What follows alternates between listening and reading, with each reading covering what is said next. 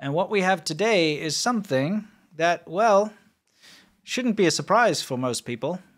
But gutter oil and spit oil is still a thing. Yeah, can you pause it? I have to set this up. Okay, you want to set it up? Yeah, so on the Chinese internet recently, this clip has been going around. Now, what's what's beyond the Great Firewall? But by the way, guys, is like China doesn't want you to see what's going on the Chinese internet, just like they block their own citizens from the rest of the internet. Right? Yeah. Seventy percent of the internet's blocked in China. But they have their own ecosystem. Correct. And because we speak Chinese, we can show you stuff, translate stuff, show you what's hot, Yep. show you what's going around. And uh, this particular clip of a guy scooping gutter oil, uh, which is used cooking oil, to reuse in restaurants is going around. And uh, these ladies uh, saw him doing it out the window, did some commentary, and then followed him Yeah. to see where he was Now going. this this in particular is spit oil, is Yeah, what I like to call oil, it. Yeah. And this is when you get a hot pot. Well, before we show it, I'll just quickly explain it. If you go to a hot pot restaurant, you get your pot and it's got a broth in it, and you have half of it is normally mild, the other half is chili. Yeah. And they use a kind of a chili oil.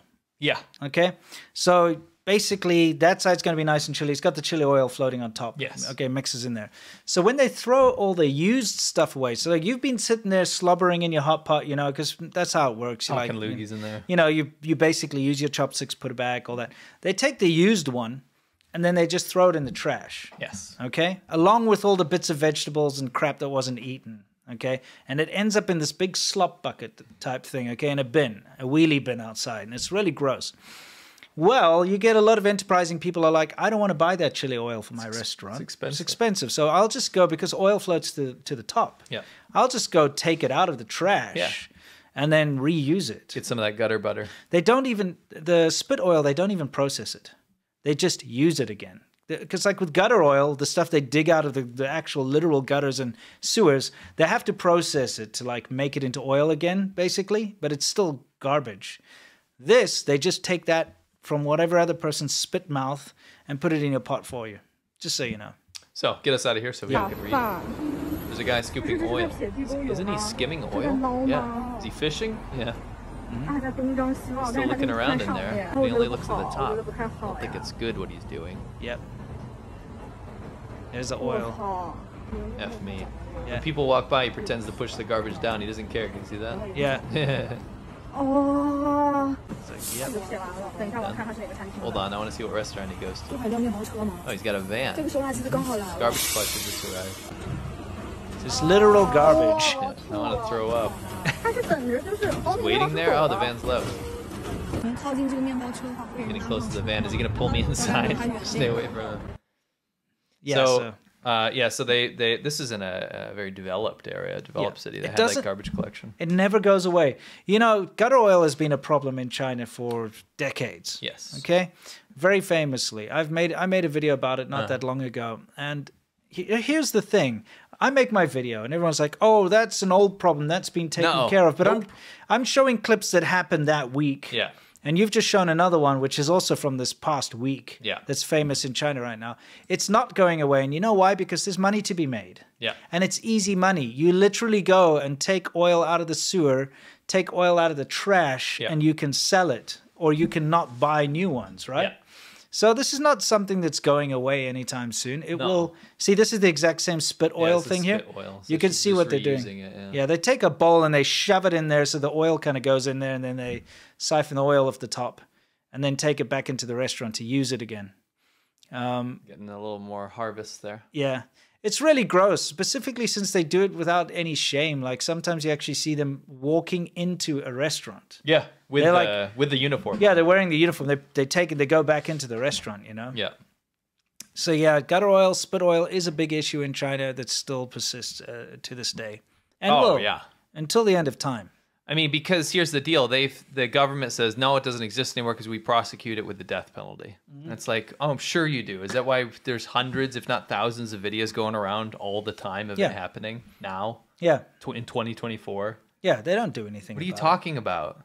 Shut up. I don't think I've ever seen people prosecuted for making They gutter made oil. they made that PSA about how it's a public safety concern, so you'll be executed. Mm. Well, where's the executions then? Where's Yeah. the death van showing up for gutter oil people? exactly. China's a dysfunctional ass country. Yeah, especially the the government. They say one thing and do another. Yeah.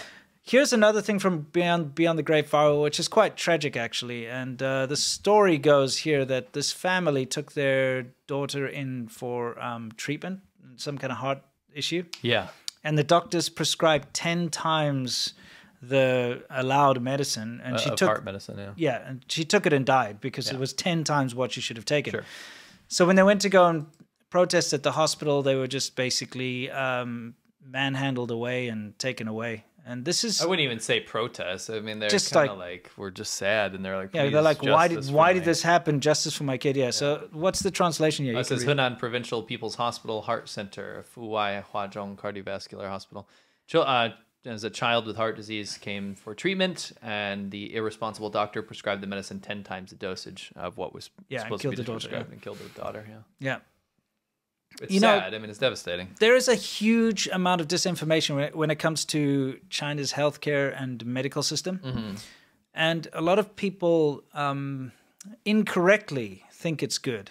It's not good. You get a lot of Oh, it's horrific. Yeah, you get a lot of people saying like China's healthcare is great and it's free. First of all, it's not free. No. It's not. People are a bit confused because it's supposed to be a communist country. It's supposed to be free. You have to pay. Yes, and it's expensive Yeah. for anything serious. Yeah. An actual doctor's visit's kind of cheap, but you still have to pay. And here's the thing you have to pay before you can see the doctor. Yes. So even when you're sick, Or emergencies. yeah, in a terrible state, you have to line up or you have to get your family member or something, line up and pay first. I went to take a family member to the hospital Yeah. because they're having an allergic reaction to shrimp. Right. Right. In the foyer Mm-hmm. of the ER, there was a guy, and I won't will spare the details, literally bleeding out. Mm-hmm. The person that brought him to the hospital had to wait in line to pay money before he was uh, admitted. It's crazy. People without money are kicked to the outside of the hospital. Yeah. right? So you can say whatever you want about the American healthcare system or whatever, but you literally have to pay before you go in, Yeah. or you can't go in, Yeah. right? The out of the 30 plus countries I've been to, China has the absolute positive worst healthcare system I've ever seen. I my life was saved in the middle of the random area of Lao, and I was laying in a bamboo bed under the piping sun mm-hmm. where there was no facilities and the doctor could speak English in the middle of nowhere, mm-hmm. used proper medication, and got me to be cured of typhoid.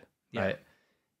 All of these things, anytime there was a medical problem in China, the doctor had no idea what they were doing. Yeah, and they give you antibiotics Yes. every time. Like when I broke my knee, Yeah. and they were smoking. yeah, it's like, oh, you broke your knee. Here's some antibiotics. The bone when I hurt my foot, the bone doctor smoking in my face. You know, I used to train doctors in China. Um, Yes. That was my job. I worked for a medical, um, uh, what do you call it, like um, education company. And Mm-hmm. what they do is deal with uh, doctors going overseas. So I teach them English and I teach them um, etiquette of hospitals and the rules and do's and don'ts and things like that. And I was very shocked at the the sort of. I was just shocked with what I saw. Let's put it that way. But never mind the fact that it's not free. I think the entire Chinese medical system hinges on the fact that the human body is pretty good at curing itself. Yes. Honestly, Yes. it is. That's, a, that's like- a really good quote. They they really do. They Yeah. they basically say, "Here, drink some hot water, take your pulse.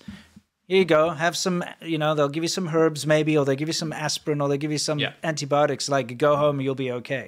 yes. You know what I mean? Yes. It's really kind of a tough situation. Of course, there are good doctors in China. There is such a thing as decent. Uh, yeah, I mean, you know, there's stuff. foreign hospitals Yeah. too in big cities. But I I got to say, in general, it's very irresponsible. yeah, yes. And also, you're expected to pay a bribe if you're going to have surgery. or deliver your child. Yeah, you have to pay bribes. And I know it's like people say, oh, that's not true. It is true, okay? Somebody we know, very close to Mm-hmm. us, Yeah.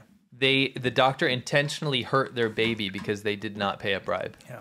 It happens. It's not. It's because the doctors are so underpaid that it be, breeds this horrific system. Even doctors pay bribes to other doctors Yes. who are their colleagues. Yes. And I know this because my wife is a doctor and I used to train doctors. I've seen it firsthand. It's Yes. not a good system. Yeah. So you've got a pretty poor system that results in things like this. Mm-hmm.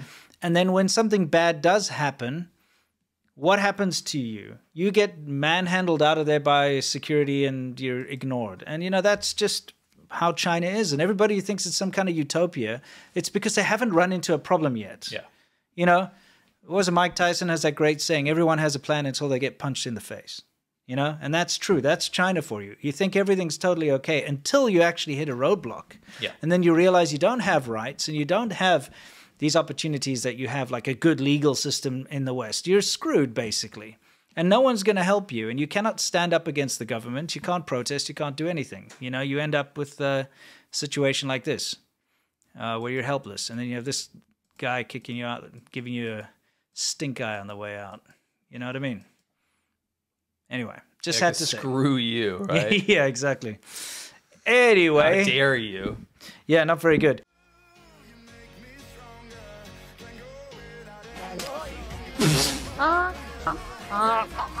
朋友再给我吃。 yeah, it's like let's blow it at the same time.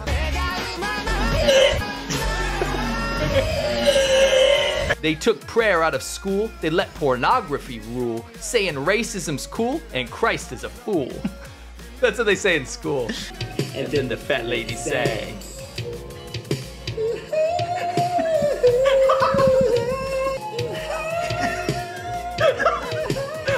To laugh at that, but that is so awkward. It's very awkward.